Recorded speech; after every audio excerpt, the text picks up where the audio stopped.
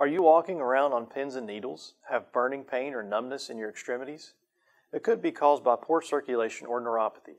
Here's how we find the cause.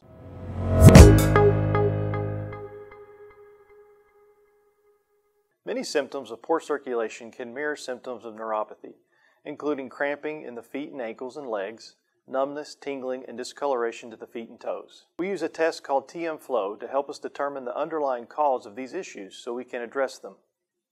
Many people who suffer from diabetes often have issues with both blood flow and neuropathy, and this test helps us determine what condition is driving the symptoms. You may be familiar with the ABI test or ankle brachial index.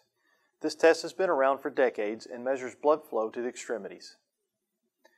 TM Flow takes the ABI and adds testing for neuropathy. It's non-invasive, pain-free, and takes about 45 minutes in the clinic. For the blood flow section of the test, we use blood pressure cuffs on the arms and ankles and probes that clip on the fingers.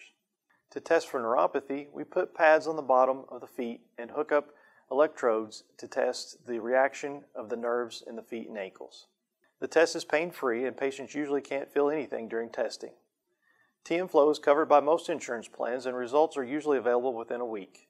If you or a loved one are suffering from burning, tingling, or numbness in the legs, feet, or ankles, we can help determine the cause of your symptoms and get you on the road to recovery.